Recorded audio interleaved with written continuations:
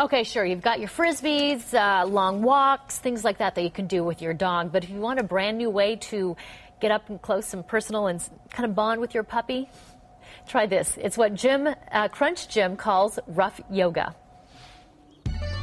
This is yoga the way you're used to seeing it. This is Ruff yoga. Take a deep inhalation and rise your paws all the way up to the sky.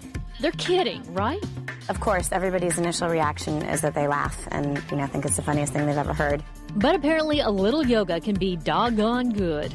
The fact is, is that the dogs really, really get into it. Let this pose be a full expression of the glory of your heart. They stress out a lot, so I think that this actually kind of helps that too. Most of my, my regular students have been saying that their dogs are much more relaxed. Of course, not every dog feels like downward facing. And now we lift up for a handstand.